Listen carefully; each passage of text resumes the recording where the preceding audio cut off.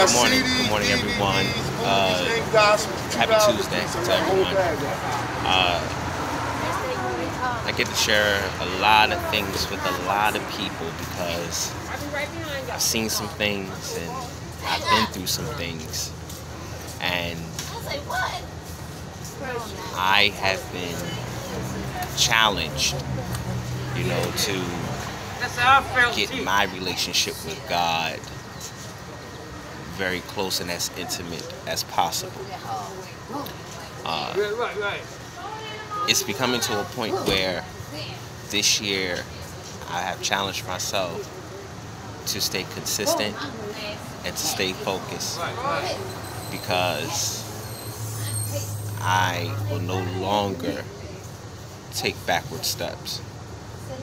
I will no longer go back to Egypt and I will no longer be the person that I used to be.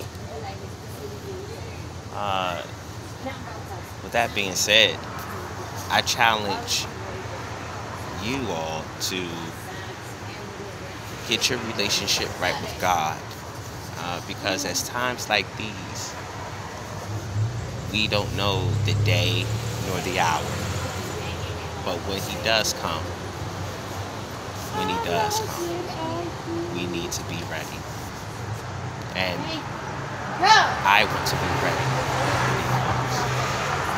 So with that being said, uh, I love you all. Be safe. And God bless. Happy Tuesday.